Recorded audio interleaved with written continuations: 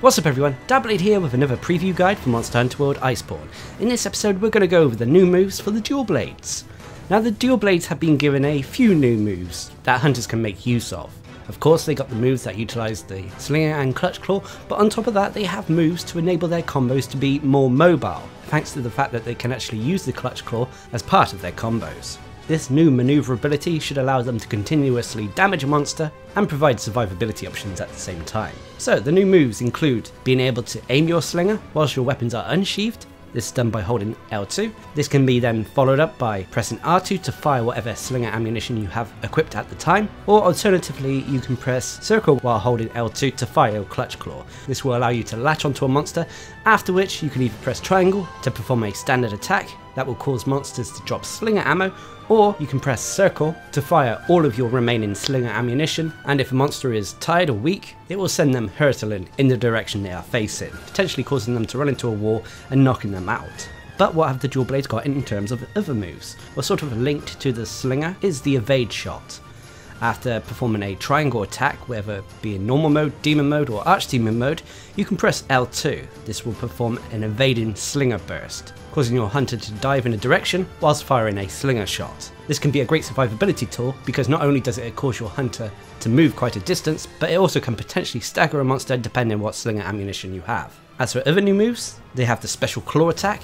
This is an attack that utilizes the clutch claw.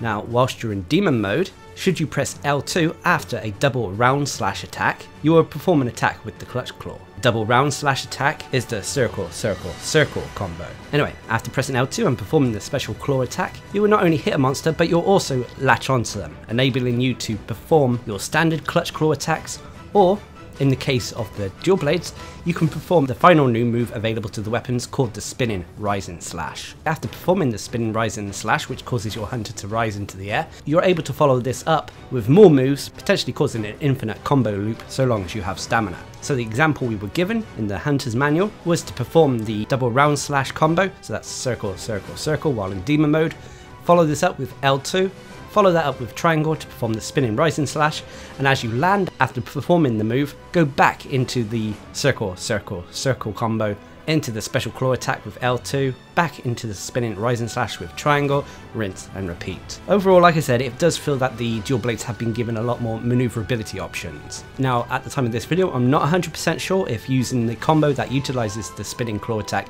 and spinning rising slash is more effective than doing combos that involve the blade dance, but they definitely allow you to keep up with a monster.